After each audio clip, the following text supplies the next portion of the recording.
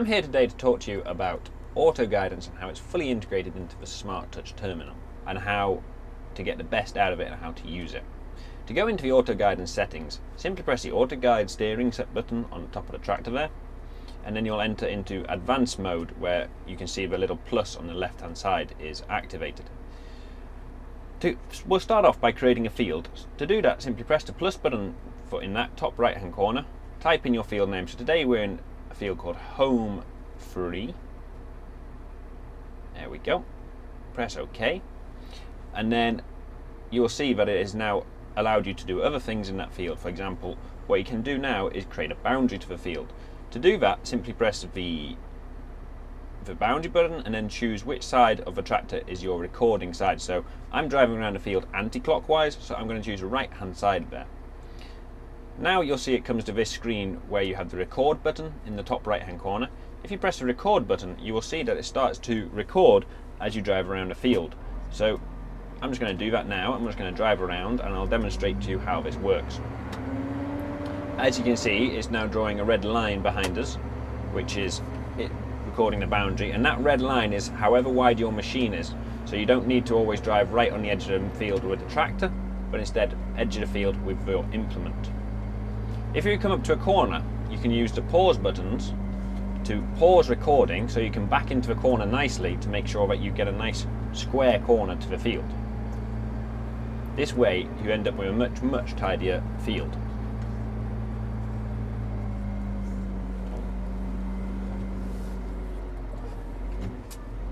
So now I've backed into the corner, I'm just going to press play button and as you'll see it's drawn a straight line there.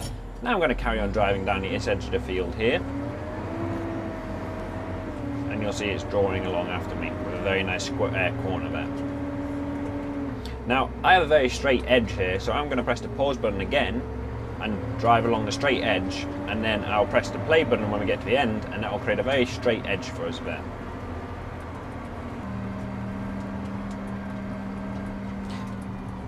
Now I'm up to the end of the field, I'm just going to press the play button again and you'll see it makes a very straight edge.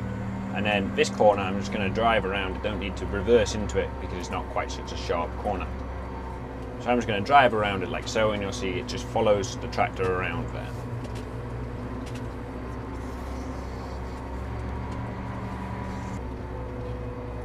Once you've driven around your field, what you can do is then press the stop button and when you press the stop button, it will join up your starting point with where you are now and finish the field for you automatically.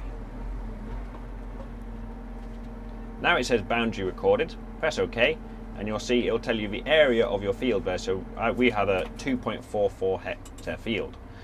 Then what you can do is you can add a bound, you can add a headland into that. To add a headland, simply press the box down in the bottom left corner here where it says 21 meters, and add in however wide you'd like your headland to be. I would like mine to be 14 meters today, so I'm just going to put in 14, press the tick, and then if we go onto the map, you'll be able to see that we have the blue line on the outside, which is the boundary, the edge of the field, and then the, the lighter blue, the turquoise line, that is our headland line. Now when we go over that line, the tractor will beep at us to let us know when to lower our machine or pick up our machine. Once you've created your boundary, you can then go and create an AB line or wayline. Simply press the wayline button here on the right hand side and you'll see that you again you have three choices of wayline to choose from. We're going to choose A B line, so press the tick and again simple as press the A button, drive forward at least 10 meters, so like so.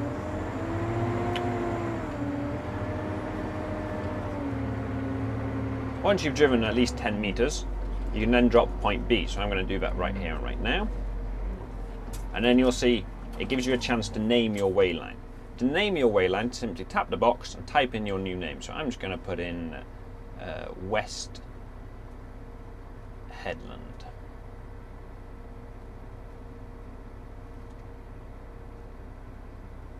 That is now saved in as West Headland, as you can see there. Once you have got multiple fields saved, you'll see you have a whole list of fields in here, which you can choose from. And also, you can have a list of different waylines in a field. You can save multiple waylines to multiple fields. Once you've created your waylines, again, it's as simple as just set off and start driving. To Press the auto guide button and she'll start steering down the wayline for you. That is how you use our auto guide system. Valtra, your working machine.